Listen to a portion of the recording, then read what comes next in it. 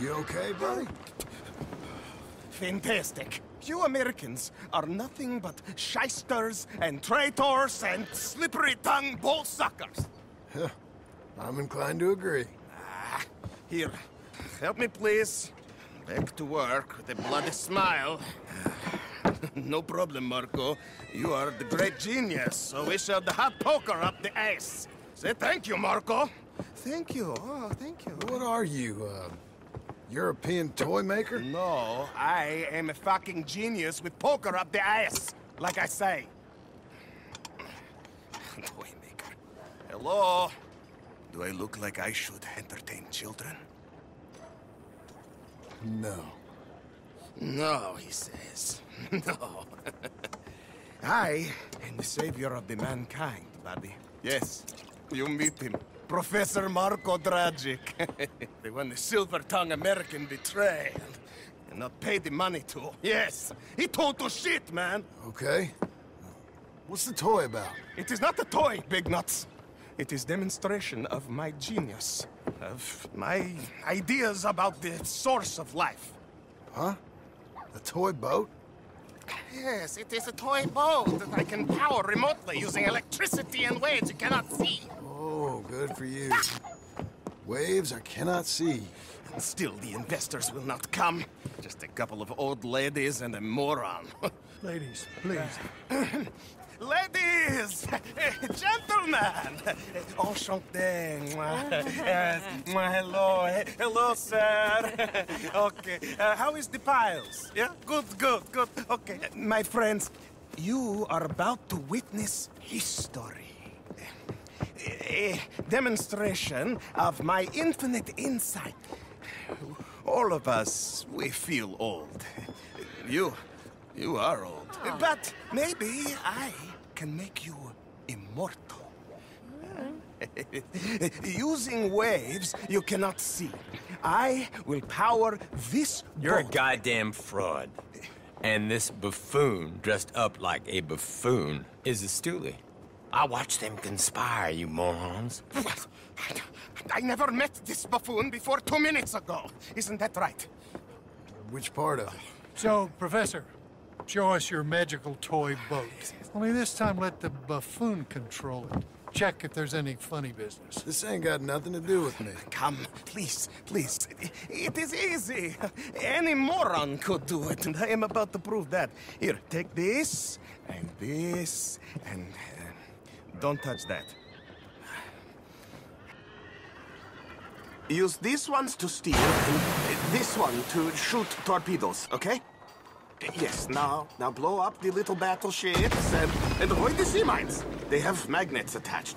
Make a nasty explosion if they touch the boat. Okay! If this silly dimwit can use torpedoes on boat to destroy the battleships, imagine what technology can do in the hands of certified genius! And I have certificate. Hey! It's doing what I'm telling it. Of course it is doing. Now tell it to move closer to battleship and shoot with torpedo. Come on. You see what he does? No wire like telegraph, no police system underwater, only waves in the air. This is remarkable. Think of those poor boys on the H.L. Hunley. Eighty perished to a mere five on the Housatonic. And what a way to go. Trapped in a box at the bottom of the bay. I suppose you intend to make an unmanned killing machine? You misunderstand. This is the secret to life, not death. The transmigration of the soul. I make lifeless metal breathe like man. Well, I'm not sure about that. The minds, they're magnetized, remember?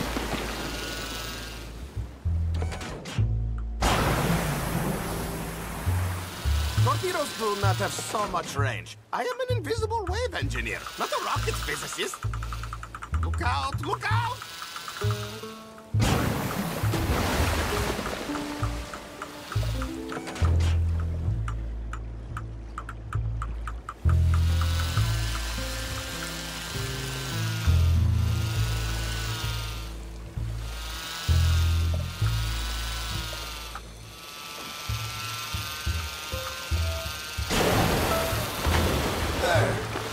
One's gone too.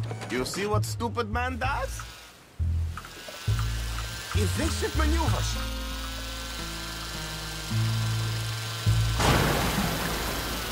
Okay.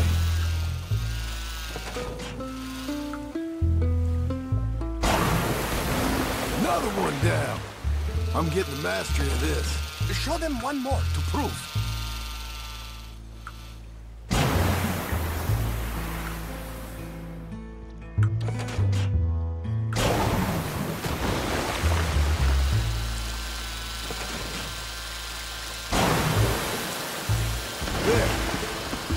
All gone for you. yes, you see what he does? Now, bring the boat back to the dock.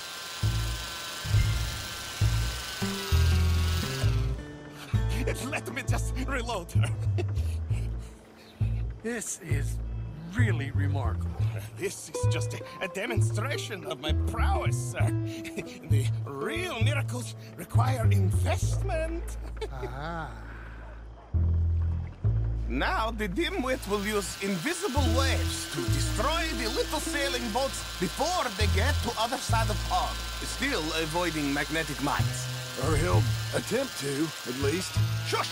You're not here for this smart talk.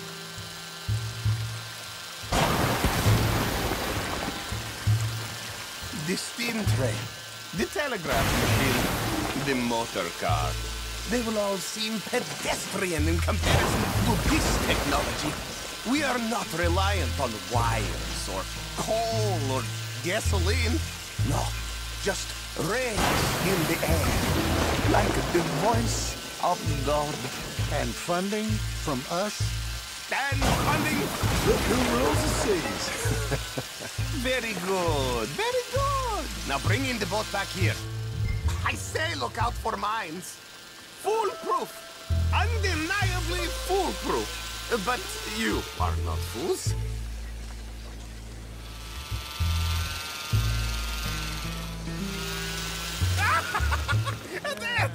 as I say, any fool, huh? Thank you, thank you.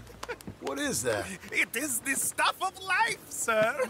It's incredible. No, no, no. Incredible things are in my lab back at Dover Hill. that will astound all of you. Mr. Marcel, can I count on your support? Well, this is expensive. It is immortality, sir. It is it is very cheap. Perhaps over lunch. Maybe. I'm gonna go. Oh, yeah, of course. And, and thank you.